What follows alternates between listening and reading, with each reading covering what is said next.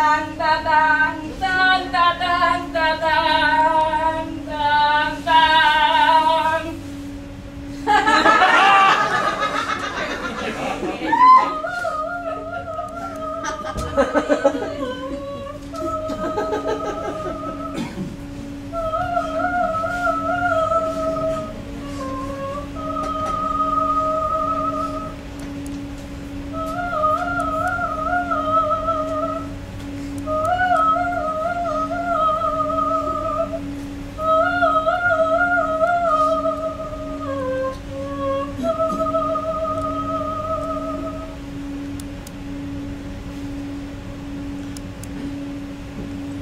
Yo soy naturalmente muy alegre. Usted la perdiría si quisiera.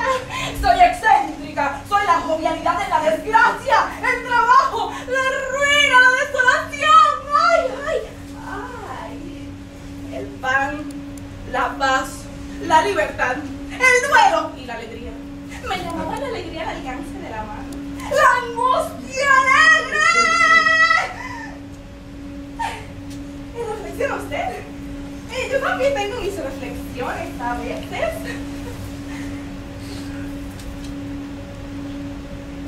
Pero en un espejo. Yo soy la alegría de la muerte en vida. La alegría de vivir. De morir. Me llamaban también la primogénita feliz. ¿A causa de su nariz? No. No.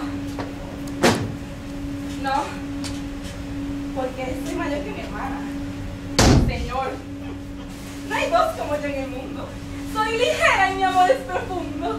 No soy seria ni frívola. Me entiendo en el trabajo agrícola. Hago también otros trabajos. Más bellos, menos bellos, igualmente bajos. Como esposo, señorita, soy justamente lo que usted necesita. Soy decente e indecente. Soy excelente. Piano, enseño el ano,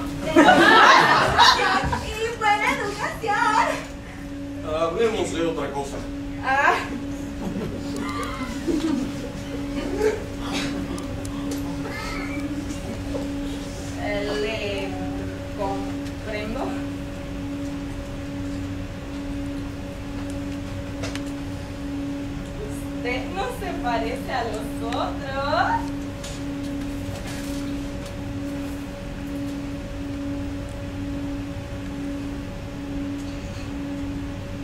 Es un ser superior. Todo lo que le he dicho era falso. Sí. He aquí algo que le va a interesar. Me interesará si es la verdad. Quise tomar un baño. En la bañera llena hasta el borde. Vi un conejo de indias completamente blanco que se había instalado allí. Respiraba bajo el agua. Me incliné para verlo de más cerca. Y que apenas se estremecía el hocico. Estaba tranquilo. Quería sumergir mi brazo en el agua para cogerlo, pero tenía demasiado miedo de que me mordiera. Estos animalitos no muerden, pero nunca se puede estar muy seguro. Él me veía, me espiaba y se mantenía muy cerca. Había abierto un ojo pequeñito y me miraba, inmóvil. Yo lo veía de perfil y quise verle de frente. Levantó hacia mí su cabecita con sus ojos sin mover el cuerpo. Como el agua estaba clara, pude ver en su frente dos manchas oscuras, de color castaño quizás. Observándolas bien, vi que se hinchaban suavemente como dos excrescencias.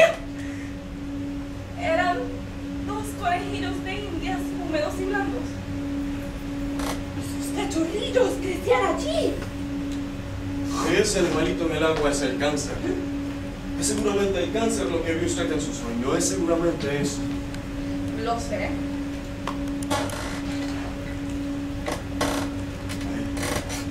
Usted me inspira confianza.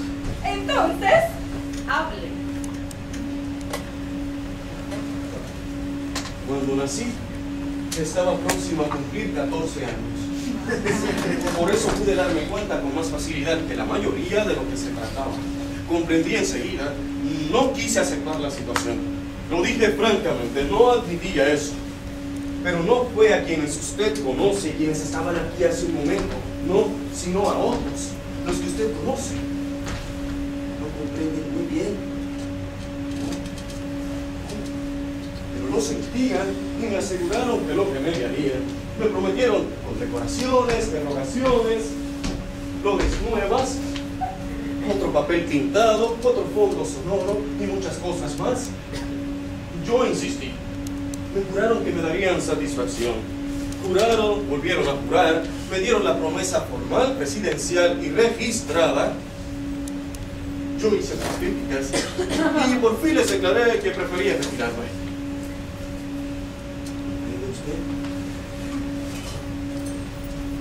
Respondieron que me echarían mucho de menos.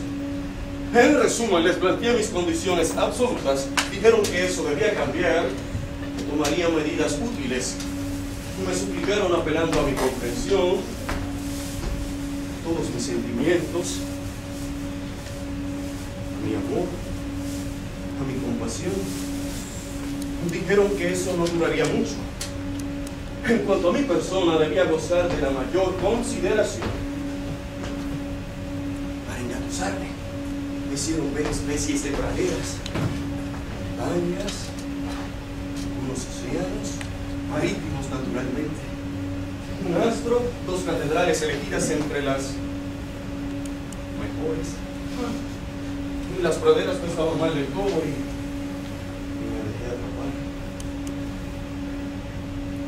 Todo era falso.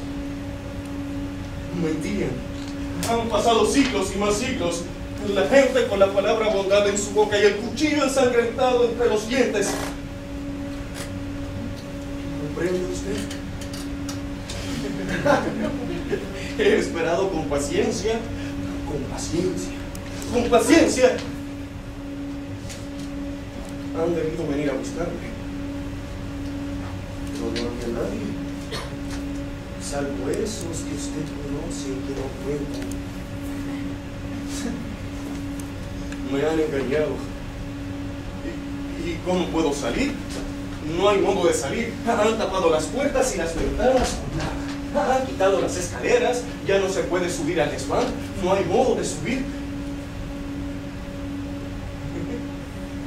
¿Será que han dejado escotillones un poco en si pudiera encontrarlos? Eh, estoy decidido a irme. Si no se puede subir por el desván, queda el sótano.